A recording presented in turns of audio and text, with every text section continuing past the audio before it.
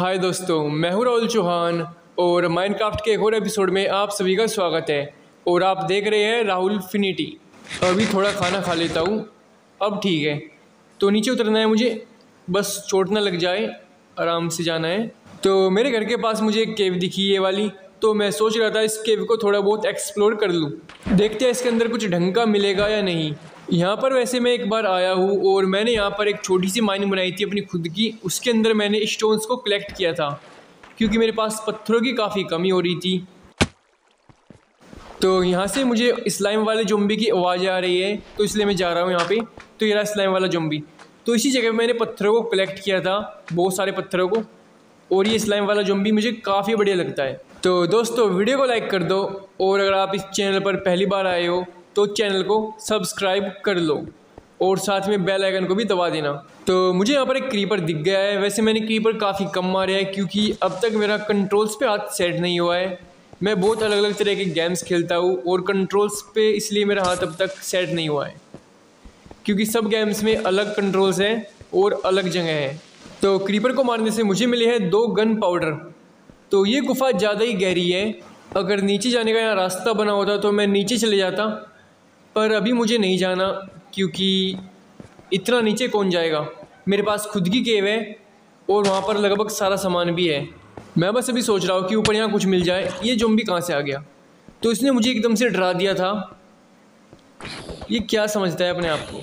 तो इनके बच्चे बहुत ज़्यादा ख़तरनाक होते हैं, पर जब ये बड़े हो जाते हैं, काफ़ी कमज़ोर हो जाती है और मुझे बात अब तक समझ नहीं आई। तो इस तरफ़ तो कुछ नहीं है, दूसरी तरफ़ चल के देखता हूँ। तो इस बार मैं थोड़ा नीचे जाऊँगा। इसको बार बार भूख लग जाती है। बहुत भूख आई। देखते हैं यहाँ नीचे क्या मिलेगा। कोई ढंग की चीज़ मिलनी चाहिए। जिस दिन मैं पत्थर कलेक्ट करने आया था, उस दिन मैंने यहाँ पर एक दो टॉर्च लगाई थी। और ये आप लोग देख पा रहे हो। यहाँ तो मुझे लगता नहीं कुछ खास मिलेगा। और ऊपर जाने का रास्ता है। मुझे चाहिए नीचे जाने का रास्ता अच्छा सा। यहाँ पे एक मकड़ा है। और ये मकड़े बड़े गद्दार रहते हैं। अभी दिन निकल रहा है, इसलिए शायद ये मुझ पर हमला नहीं कर रहा। पर नहीं बहुत बारी दिन में भी हमले करते हैं, आ गया हमला करने के लिए। दिन दहाड़े मुझ पर हमला करने के लिए आ गया।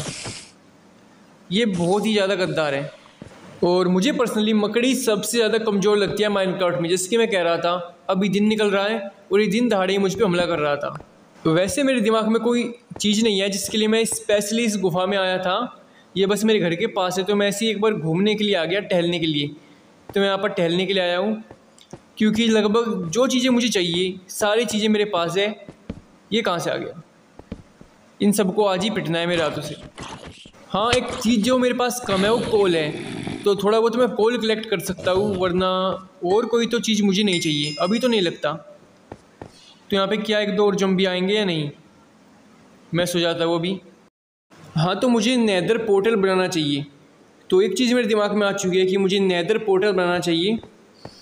ये बच्चा कहाँ से आ गया? तो ये बच्चे मुझे काफ़ी ख़तरनाक लगते हैं, पर अभी मेरे पास हाइट का एडवांटेज है तो ये मेरा कुछ नहीं उखाड़ सकता, और इस बार ये दफन हो जाएगा, और ये दफन। हो सकता है ये अपनी बाप या अपने चाचा की मौत का बदला लेने आया हो। वो दोनों ऐसे ही लग रहे थे क्योंकि मैंने दो इसके शकल के जोम्बीज़ को पेला था। वहाँ पे एक जोम्बी विलेजर था, और वो नदी में गिर गया, बेचारा। तो अभी मुझे एक ब्रिज बनाना होगा। बस कई स्केल्टन तीरना मार दे इधर उधर से। अगर किसी स्केल्टन ने जो यहाँ पर छिप रहा होगा, उसने तीर मार दिया, मैं सबसे नीचे गिरूँगा। मुझे लग रहा है लगभग पचास साठ ब्लॉक्स नीचे गिरूँगा मैं। पर अभी तो मैंने सब कुछ संभाल लिया है, और यहाँ पर कोई स्केल्टन नहीं है। तो मुझे सबसे फालतू चीज़ लगती है रेड स्टोन और रेड स्टोन यहाँ भर भर कर है। तो वहाँ पर है लेपिस तो लेपिस भी बढ़िया है रेड स्टोन से। तो हाँ तो मुझे लेपिस दिख गई है आयरन भी है, और यहाँ रेड स्टोन है। तो इस जम्बी को भी हटाता हूँ। अरे इसने मुझे चाटा मार दिया। बहुत हिम्मत वाला है तो। अभी इसको मैं लावा में गिराऊँगा पहले मैं इसको नहीं गिराता पर मैंने इसको गिरा दिया है ये तो फिर भी आ रहा है। मुझे कहना पड़ेगा एक सूरवीर की तरह मरा है ये। किसी कार्य की तरह नहीं मरा और मुझे अच्छा लगा। तो अभी तो यहाँ पर जो चीज़ें हैं मुझे वो नहीं चाहिए। तो मैं एक चीज़ क्लियर करना चाहूँगा मैं माइनक्राफ्ट खुद अभी पहली बार खेल रहा हूँ जब मैंने इतनी प्रोग्रेस की है इससे पहले मैं खेलता था कभी कभी पर मैं कैजुअल खेलता था। तो भी मैंने डायमंड ले लिए हैं, ताकि मैं डायमंड की पिकेक्स बना लूँ, और अब बनेगी डायमंड की पिकेक्स और मैंने बनाई है ओब्सीडियन की माइनिंग करने के लिए। तो मैं आ गया हूँ खुद की गुफा में। अभी थोड़ा बहुत ओब्सीडियन को माइन करते हैं, और फिर यहाँ से मैं नेदर पोर्टल बनाऊँगा। तो मैंने ऑक्सीडन को माइन कर लिया है। अभी मैं अपने घर की तरफ़ जा रहा हूँ। अभी मौसम काफ़ी बढ़िया लग रहा है, बारिश हो रही है, झमाझम। तो अभी आज मैं नैदर पोर्टल बना लूँगा, और नैदर पोर्टल को अभी मैं उसमें नहीं जाऊँगा। शायद मैं अब तक एक बार भी नैदर में नहीं गया, क्योंकि अभी मुझे दो तीन छोटे छोटे काम करने हैं नैदर जाने से पहले। एक तो मुझे प्लेजर्स का अड्डा ढूंढना है और फिर प्लेजर्स को पीटना है।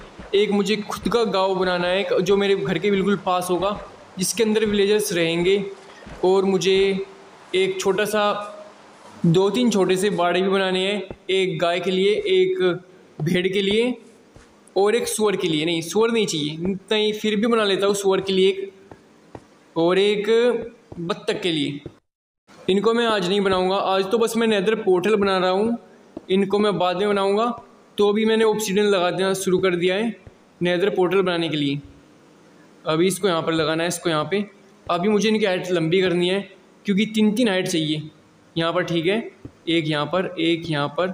अभी और ये हो गया फाइनल अभी मुझे इसमें आग लगानी है और आग लगेगी इसमें। फ्लिंट एंड स्टील से, और वो मेरे पास पहले से ही है। तो मैंने आसपास के एरिया की साफ़ सफ़ाई कर दी है। अभी मुझे फ्लिंट एंड स्टील चाहिए इसको चालू करने के लिए। तो चलते हैं अंदर। गेट बंद कर देता हूँ, कहीं भी ना आ जाए।